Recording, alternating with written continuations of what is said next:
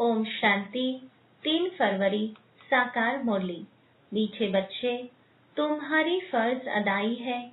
घर घर में बाप का पैगाम देना।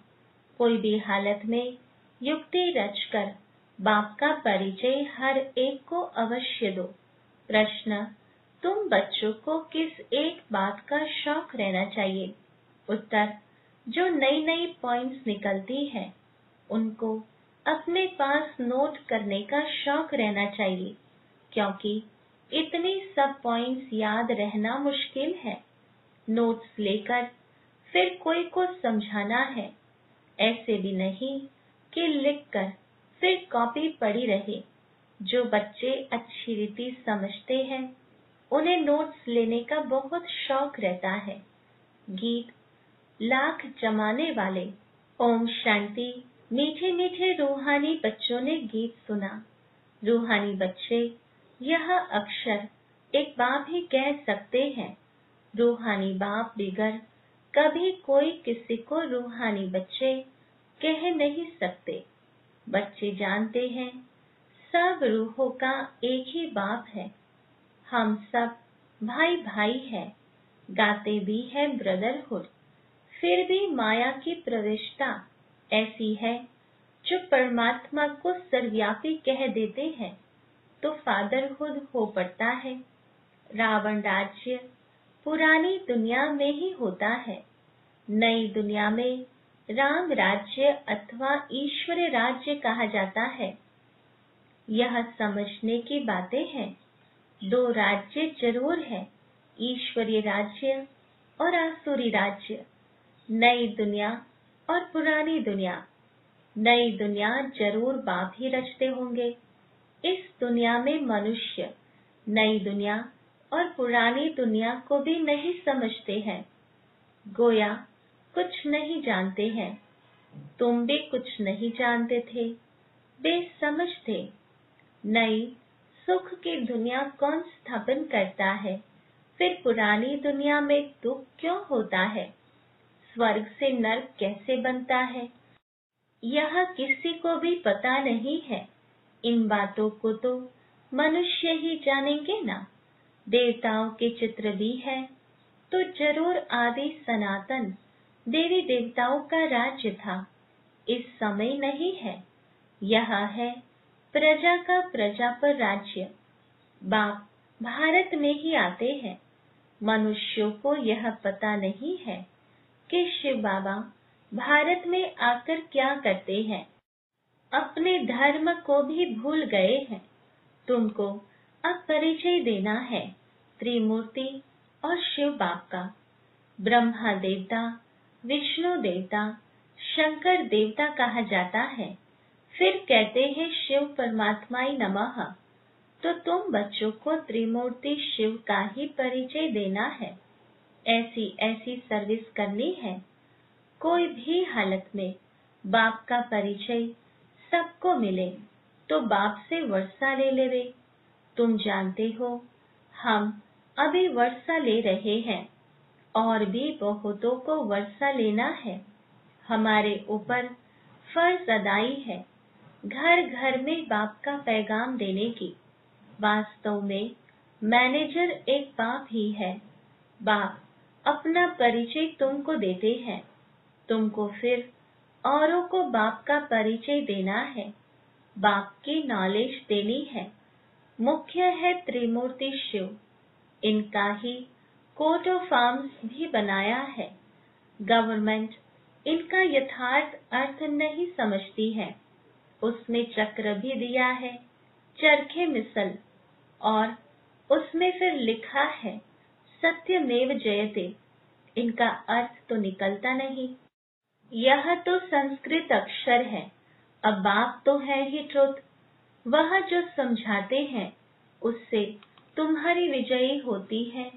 सारे विश्व पर बाप कहते हैं, मैं सच कहता हूँ, तुम इस पढ़ाई से सच सच नारायण बन सकते हो। वो लोग क्या क्या अर्थ निकालते हैं, वह भी उनसे पूछना चाहिए। बाबा तो अनेक प्रकार से समझाते हैं। जहाँ जहाँ मेला लगता है, वह नदियों पर ही जाकर समझाओ। पतित पावन गंगा हो नहीं सकती। नदियाँ सागर से निकली है। वह है पानी का सागर। उनसे पानी की नदियाँ निकलती हैं। ज्ञान सागर से ज्ञान की नदियाँ निकलेगी। तुम माताओं में अब ज्ञान है। गाँव मुख पर जाते हैं। उनके मुख से पानी निकलता है। समझते हैं, यह गंगा का जल है। इतने पढ़े लिखे मनुष्य समझते नहीं कि यहाँ गंगा जल कहाँ से निकलेगा। शास्त्रों में है कि बाण मारा और गंगा निकल आई। अब यह तो है ज्ञान की बातें। ऐसे नहीं कि अर्जुन ने बाण मारा और गंगा निकल आई। कितना दूर दूर तीर्थों पर जाते हैं। कहते हैं, शंकर की जटाओं से गंगा निकली, जिसमें स्नान करने से मनुष्य से परी बन जाते हैं, मनुष्य से देवता बन जाते। यह भी परी मिसल है ना? अब तुम बच्चों को बाप का ही परिचय देना है, इसलिए बाबा ने ये चित्र बनवाए हैं। त्रिमूर्ति शिव के चित्र में सारी नॉलेज है। सिर्फ़ उन्हों के त्रिमूर्ति के चित्र में नॉलेज देने वाले शिव का चित्र नहीं है। नॉलेज लेने वाले का चित्र है। अभी तुम त्रिमूर्ति शिव के चित्र पर समझाते हो। ऊपर है नॉलेज देने वाला। ब्रह्मा को उनसे नॉलेज मिलती है, जो फिर फैलाते हैं। इसको कहा जाता है, ईश्वर के धर्म के स्थापना की मशीनरी। यह देवी देवता धर्म बहुत सुख देने वाला है। तुम बच्चों को अपने सत्य धर्म की पहचान मिली है। तुम जानते हो, हमको भगवान पढ़ाते हैं। तुम कितना खुश होते हो। बाप कहते हैं, तुम बच्चों की खुशी का पारावार नहीं होना चाहिए, क्योंकि तुम्हें पढ़ाने वाला स्वयं भगवान है। भगवान तो निराकार शिव है, न कि श्री कृष्ण। बाप, बैठ समझाते हैं, सर्व का सदगति दाता एक है। सदगति, सतयुग को कहा जाता है, दुर्गति, कलयुग को कहा जाता है। नई दुनिया को नई, पुरानी को पुरानी ही कहेंगे। मनुष्य समझते हैं अभी दुनिया को पुराना होने में चालीस हज़ार वर्ष चाहिए। कितना मुंज पड़े हैं। सिवाय बाप के, इन बातों को कोई समझा न सके। बाबा कहते हैं, मैं तुम बच्चों को राज्य भाग्य दे, बाकी सबको घर ले जाता हूँ। जो मेरी मत पर चलते हैं, वह देवता बन जाते हैं। इन बातों को तुम बच्चे ही जानते हो। नया कोई क्या समझेगा? तुम मालियों का कर्तव्य है बगीचा लगाकर तैयार करना। बागवान तो डायरेक्शन देते हैं। ऐसे नहीं, बाबा कोई नयो से मिलकर ज्ञान देगा। यह काम मालियों का है। समझो, बाबा कलकत्ते में जाए तो बच्चे समझेंगे। हम अपने ऑफिसर को फलाने मित्र को बाबा के पास ले जाए। बाबा कहेंगे, वह तो समझेंगे कुछ भी नहीं। जैसे बुद्धू को सामने ले आकर बिठाएँगे, इसलिए बाबा कहते हैं, नए को कभी बाबा के सामने लेकर न आओ। यह तो तुम मालियों का काम है, न कि बागवान का। माली का काम है बगीचे को लगाना। बाप तो डायरेक्शन देते हैं। ऐसे ऐसे करो। इसलिए बाबा कभी नए से मिलता नहीं है। परंतु कहा मेहमान होकर घर में आते हैं तो कहते हैं, दर्शन करें। आप हमको क्यों नहीं मिलने देते हो? शंकराचार्य आदि पास कितने जाते हैं? आजकल शंकराचार्य का बड़ा मतबा है। पढ़े लिखे हैं, फिर भी जन्म तो विकार से ही लेते हैं ना। ट्रस्टी लोग गद्दी पर कोई को भी बिठा देते हैं। सबकी मत अपनी अपनी है। बाप खुद आकर बच्चों को अपना परिचय देते हैं कि मैं कल कल इस पुराने तन में आता हूँ। यह भी अपने जन्मों को नहीं जानते हैं। शास्त्रों में तो कल्प की आयु ही लाखों वर्ष लगा दी है। मनुष्य तो इतने जन्म ले नहीं सकते हैं। फिर जानवर आदि की भी योनिया मिलाकर चौरासी लाख बना दी है। मनुष्य तो जो सुनते हैं, सब सत सत करते रहते हैं। शास्त्रों में तो सब है, भक्ति मार्ग की बातें। कलकत्ते में देवियों की बहुत शोभावान, सुंदर मूर्तियाँ बनाते हैं, सजाते हैं। फिर उनको डुबो देते हैं। यह भी गुड़ियों की पूजा करने वाले बेबीज ही ठहरे। बिल्कुल इनोसेंट तुम जानते हो, यह है नर्क। स्वर्ग में तो अथाह सुख थे। अभी भी कोई मरता है तो कहते हैं, फलाना स्वर्ग पधारा। तो ज़रूर कोई समय स्वर्ग था। अब नहीं है। नर्क के बाद फिर ज़रूर स्वर्ग आएगा। इन बातों को भी तुम जानते हो। मनुष्य तो रिमचक भी नहीं जानते। तो नया, कोई बाबा के सामने बैठ क्या करेंगे? इसलिए माली चाहिए, जो पूरी परवरिश करे। यहाँ तो माली भी ढेर के ढेर चाहिए। मेडिकल कॉलेज में कोई नया जाकर बैठे तो समझेगा कुछ भी नहीं। यह नॉलेज भी है नहीं। बाप कहते हैं, मैं आया हूँ सबको पावन बनाने। मुझे याद करो तो पावन बन जाएँगे। इस समय सब है तमो प्रधान आत्माएँ। तब तो कह देते, आत्मा, सुपरमात्मा, सब में परमात्मा है। तो बाप थोड़ी बैठ ऐसो से माथा मारेगा, यह तो तुम मालियों का काम है। कांटों को फूल बनाना। तुम जानते हो, भक्ति है रात, ज्ञान है दिन। गाया भी जाता है, ब्रह्मा का दिन, ब्रह्मा की रात। प्रजापिता ब्रह्मा के तो ज़रूर बच्चे भी होंगे ना। कोई को इतना भी अक्ल नहीं, जो पूछे कि इतने ब्रह्मा कुमार कुमारियाँ हैं, इनका ब्रह्मा कौन है? अरे, प्रजापिता ब्रह्मा तो मशहूर है। उन द्वारा ही ब्राह्मण धर्म स्थापन होता है। कहते भी हैं, ब्रह्मा देवताए नमः। बाप, तुम बच्चों को ब्राह्मण बनाए, फिर देवता बनाते हैं।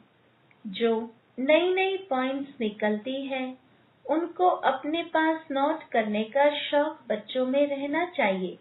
जो बच्चे अच्छी रीति समझते हैं, उन्हें नोट्स लेने का बहुत शौक रहता है।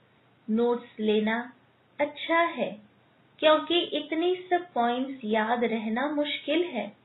नोट्स लेकर फिर कोई को समझाना है। ऐसे नहीं कि लिखकर फिर कॉपी पड़ी रहे। नई नई पॉइंट्स मिलती रहती है तो पुरानी पॉइंट्स की कॉपियाँ पड़ी रहती है। स्कूल में भी पढ़ते जाएँगे, पहले दर्जे वाली किताब पड़ी रहती है। जब तुम समझाते हो। तो पिछाड़ी में यह समझाओ कि मन मना भाव, बाप को और सृष्टि चक्र को याद करो। मुख्य बात है, माम एकम याद करो। इसको ही योग अग्नि कहा जाता है। भगवान है ज्ञान का सागर, मनुष्य है शास्त्रों का सागर। बाप कोई शास्त्र नहीं सुनाते हैं। वह भी शास्त्र सुनाए तो बाकी भगवान और मनुष्य में फ़र्क क्या रहा? बाप कहते हैं, इन भक्ति मार्ग के शास्त्रों का सार मैं तुमको समझाता हूँ। वह मुरली बजाने वाले सर्प को पकड़ते हैं तो उनके दांत निकाल देते हैं। बाप भी विष पिलाना तुमसे छुड़ा देते हैं। इसी विष से ही मनुष्य पतीत बने हैं। बाप कहते हैं, इनको छोड़ो, फिर भी छोड़ते नहीं है। बाप गोरा बनाते हैं, फिर भी गिरकर काला मुँह कर देते हैं। बाप आए हैं, तुम बच्चों को ज्ञान चिता पर बिठाने, ज्ञान चिता पर बैठने से तुम विश्व के मालिक, जगत जीत बन जाते हो। अच्छा मीठे मीठे सिकिलदे बच्चों प्रति माता पिता बाप दादा का याद प्यार और गुड मॉर्निंग रूहानी बाप की, रूहानी बच्चों को नमस्ते।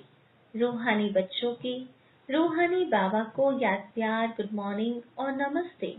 धारणा के लिए मुख्य सार पहली पॉइंट सदा खुशी रहे कि हम सत धर्म की स्थापना के निमित्त हैं। स्वयं भगवान हमें पढ़ाते हैं। हमारा देवी देवता धर्म बहुत सुख देने वाला है। दूसरी पॉइंट माली बन कांटों को फूल बनाने की सेवा करनी है। पूरी परवरिश कर फिर बाप के सामने लाना है। मेहनत करनी है। वरदान, हर शक्ति को कार्य में लगाकर वृद्धि करने वाले श्रेष्ठ, धनवान व समझदार भव। विस्तार है।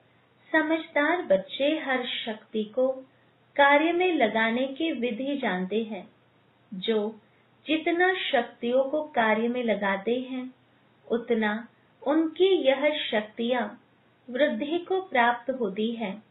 तो ऐसा ईश्वरीय बजट बनाओ, जो विश्व की हर आत्मा, बाप द्वारा कुछ न कुछ प्राप्ति करके आपके गुणगान करे। सभी को कुछ न कुछ देना ही है। चाहे मुक्ति दो, चाहे जीवन मुक्ति दो। ईश्वरीय बजट बनाकर सर्व शक्तियों की बचत कर, जमा करो। और जमा हुई शक्ति द्वारा सर्व आत्माओं को भिखारीपन से, दुख शांति से मुक्त करो। स्लोगन, शुद्ध संकल्पों को अपने जीवन का अनमोल खजाना बना लो। तो माला माल बन जाएँगे Om Shanti To watch Peace of Mind channel videos on YouTube, subscribe us on youtube.com slash tvpeaceofmind. Just a click for a peaceful life.